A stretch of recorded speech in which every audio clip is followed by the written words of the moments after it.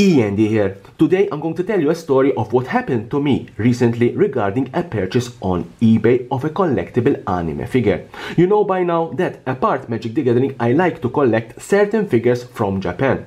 I'm a proud owner of a particular collection of Kaiyodo figures of Hokuto no Ken, or better known in the West as Fist of the North Star. I used to watch this anime on Italian television back in the late 80s and early 90s. Yes, it has a certain degree of violence, but during that time, parent control and censorship weren't that tight as much as today, and still we grew up in a good method. From my collection, I have very few figures missing. One of them is this.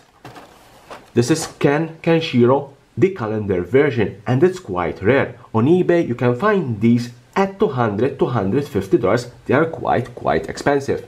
I told you I bought this from eBay at around $160 and whenever you buy something to add to your collection you can't wait to receive it. Unfortunately it took around 3 months to arrive but considering the current situation of COVID I was okay with it. To my surprise when this arrived and saw it that it was shipped in a bubble envelope, my heart did a tick. Yes, this was shipped in a bubble envelope. See the envelope here? This is the original envelope. I cut it from here. This figure was shipped in this envelope, a bubble envelope. These figures are old and the bubble is fragile. So when I opened the envelope, I wasn't surprised to find out that the figure was severely damaged and opened on three sides. As you can see, the bubble is fractured. Let me show you the fracture. Here is the fracture. You can see it's fractured. And there's another fracture, very serious fracture here. You can see here, the bubble is fractured. Here, it's fractured. Here, another fracture. It's an unfortunate, very unfortunate, and open on three sides. Let me show you. Open on three sides. You can see here, it's open from three sides. Bottom, left, and top only the site wasn't open.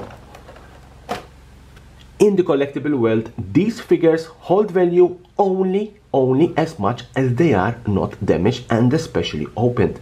Unfortunately, this figure hold no value to me and even if I tried to resell it, no collector would be ready to spend 100 $150 for it. Personally, a figure in this condition is to be considered only as a toy to play with and not collectible.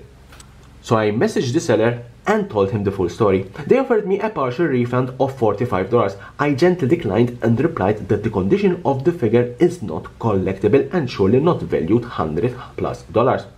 To cut the story short, I opened a request for return and got the refund. The moral of the story is that whenever you ship items like this that are expensive, always ship them in a safe way.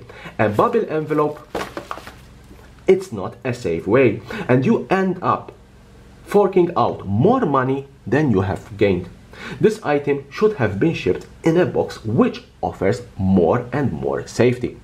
Leave me a comment below. What do you think about this type of shipment? Was a correct one? Wasn't a correct one? And here, there's a subscription button. Subscribe for my channel for more and more interesting videos about Magic the Gathering and the collectible world.